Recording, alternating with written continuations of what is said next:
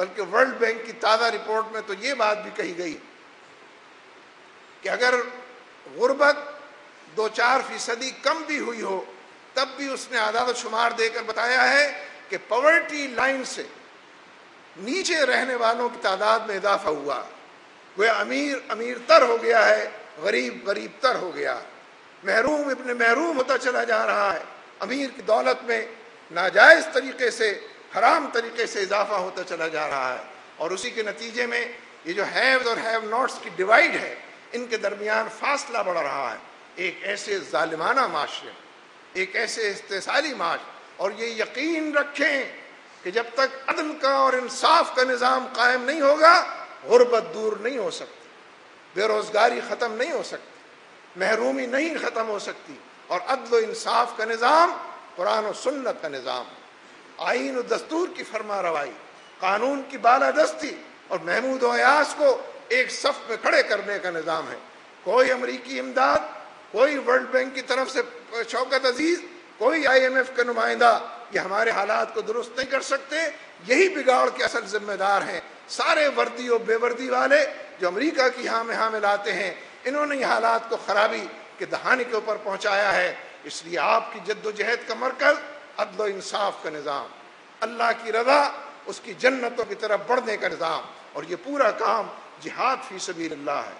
اللہ کے راستے میں نکلنا، اللہ کی رضا اور خوشنودی کے لیے کام کرنا، اور نبی برحق صلی اللہ علیہ وسلم، انہی کی اتباع اور پیروی لقت کان لکم فی رسول اللہ عصوت الحسنہ انہی کی اتباع اور پیروی، انہی کی سنتوں کو اپنانا، انہی کی شریعت متحرہ اسی کا خوگر بننا، اور جو جد و جہد اور کشمکش وہ ہمارے درمیان چھوڑ گئے ہیں، اسی جد و جہد کو اپنانا انہی میں جذبوں کا ابھار ہے، اسی میں ایمان کا اضافہ ہے، اسی کے نتیجے میں اللہ کے ساتھ تعلق کی استواری ہے، اسی کے نتیجے میں دامن مصطفیٰ کے ساتھ وابستگی ہے، اسی کے نتیجے میں بابرکت جد و جہد ہے۔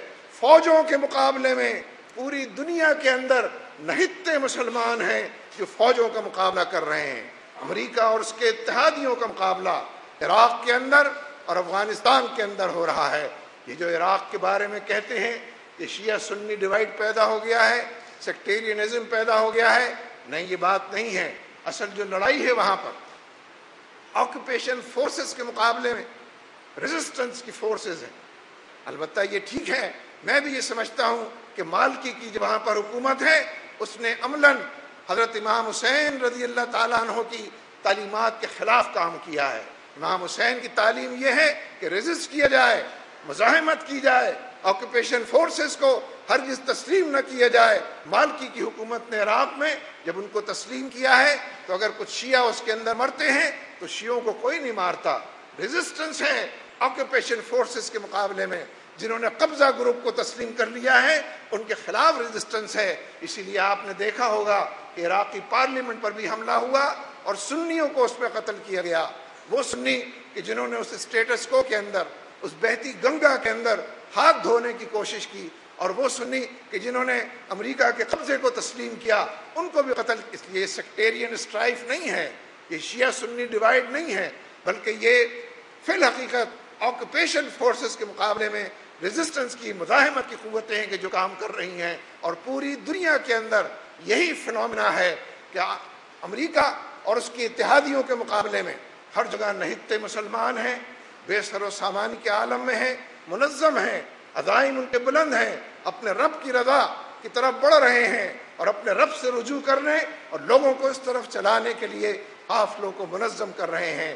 اس لیے میرے عزیزوں بدلے ہوئے حالات کے اندر اگر ہمارے کشمیری بھائی سات لاکھ فوج کا، بھارت کی سات لاکھ فوج کا، بھارت کے سات لاکھ درندوں کا اور اپنے ہی وردی پوشوں جو ان کی سرپرستی کر رہے ہیں، اگر ان کا مقابلہ کر رہے ہیں، حریت کانفرنس کو بھارت تقسیم نہیں کر سکا۔ اگر تقسیم کیا ہے، تو پرویز مشرف نے کیا ہے۔ دو دھڑوں میں اس کو بانٹا ہے۔ اس لیے کہ اسی میں وہ امریکہ اور بھارت کی خوشنودی سمجھتے ہیں۔